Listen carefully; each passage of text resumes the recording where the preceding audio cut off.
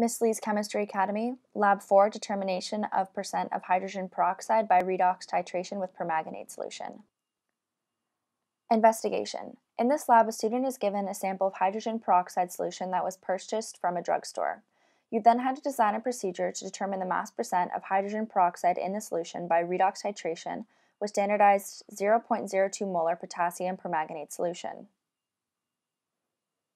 Oxidation reduction reactions redox. A redox reaction involves a transfer of electrons between species being oxidized and the species being reduced. This type of reaction is balanced by two half reactions oxidation, the loss of electrons, and reduction, the gain of electrons. The basis of this balancing is that the number of electrons lost by the species being oxidized is always equal to the number of electrons gained by the species being reduced. A1. Standardization of potassium permanganate solution. When the permanganate solution is dissolved in water, it forms a magnesium oxide solid. Its exact molarity is determined by standardization and redox titration by the iron 2 plus ions according to the equation below. To prepare a 250 milliliter solution of 0.02 molar potassium permanganate solution, you need to dissolve 0.8 grams of potassium permanganate solid in 250 milliliters of water. A standard solution of 0.1 molar iron 2 sulfate is prepared by dissolving 1.519 grams of iron sulfate in water in a 100 milliliter volumetric flask as shown in the equation below. A2. Standardization procedure. To begin this experiment, you must measure 20 milliliters with a volumetric pipette of the iron sulfate standard solution and add it to a 250 milliliter conical flask. Then add 20 milliliters of 3 molar sulfuric acid to acidify the solution. You can then start the titration by adding the potassium permanganate solution from the burette into the flask with a magnetic stirrer on.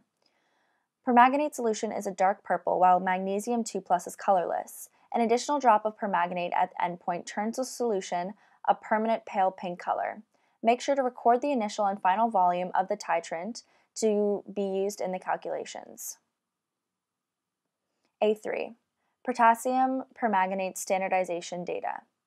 In this data table, it separates its rows by the trial number and the second column shows the volume of the iron 2 plus solution volume, which should be constant, and in the third column it shows the initial volume of the permanganate solution in the burette. And in the fourth column is the final volume in the burette of the permanganate solution. In the fifth column is the volume of permanganate solution used in the titration, and lastly, in the sixth row, is the color description of the endpoint. A4, calculations. This slide shows the calculations for the lab. The first calculation is calculating the average volume of permanganate solution needed to titrate the iron 2 plus solution. The second equation is the calculation to find the molarity of the permanganate solution. B1, procedure mass percent of hydrogen peroxide determination. First, you need to pipette 2 milliliters of the permanganate solution using a volumetric pipette into a conical flask. Then add approximately 20 milliliters of 3 molar sulfuric acid and turn on the magnetic stirrer. Before beginning the titration, record the initial volume of the potassium permanganate solution in the burette, and then titrate the hydrogen peroxide solution with the standardized 0.018 molar potassium permanganate solution from a burette until a pale pink endpoint is observed. B2 Half reactions. The first reaction shows the reduction of the permanganate solution and the hydrogen peroxide solution, and the second equation shows the oxidation. The first equation shows the final balanced equation. B3, lab photos. Titrate hydrogen peroxide with potassium permanganate to a pale pink endpoint. The photo on the left shows a titration process with a magnetic stir and the potassium permanganate solution in the burette. The photo on the right is the final product of the titration showing the pale pink endpoint. B4. Data table mass percent of hydrogen peroxide determination.